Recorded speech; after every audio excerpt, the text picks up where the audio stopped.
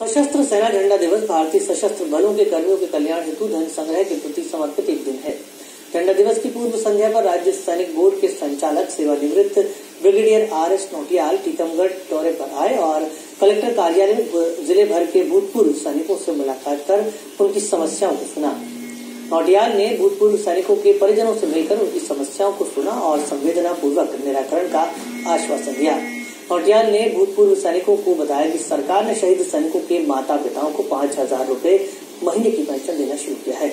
इसके साथ ही भूतपूर्व सैनिकों के बच्चों को स्कूलों में प्रवेश के लिए सीटें आरक्षित की गई है। सैनिक कल्याण बोर्ड के संचालक ने भूतपूर्व सैनिकों को शासन से मिलने वाली सुविधाओं की नवीनतम जानकारी दी। साथ ही उन्होंने उनकी समस्याओं के निराकरण के संबंध में विस्तार से चर्चा की। इस अवसर पर आगामी चार फरवरी 2019 को टीकमगढ़ ज़िले में आयोजित होने वाली सैनिक भर्ती रैली के बारे में भी विस्तार से बताया गया।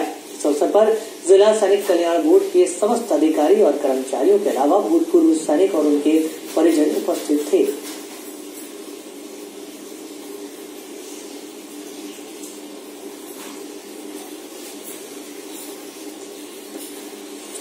पूरे प्रदेश की जनता से कि ये एक बहुत शुभ अवसर का दिन है।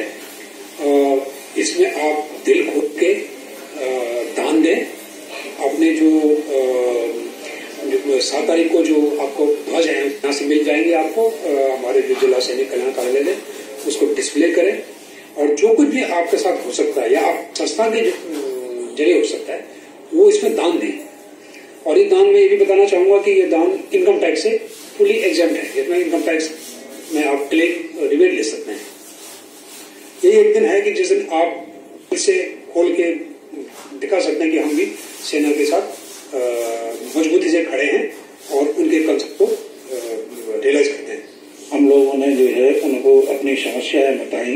ये पूछा कि जो है बच्चियों की शादी के लिए तो उन्होंने बताया कि साठ हज़ार रुपये हर भूतपूर्व सैनिक की, बच्ची की शादी के लिए साठ हज़ार रुपये मिलेंगे।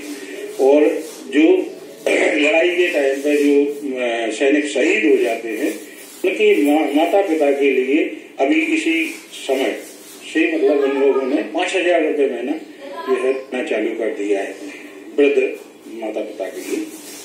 अब उनकी समझ सामने मान लो उन्होंने बताया कि अपनी समझ जो मेडिकल कॉलेज है, उसमें आरक्षण है भूतपूर्व सैनिक के बच्चों के लिए और इंजीनियरिंग में डेंटल में है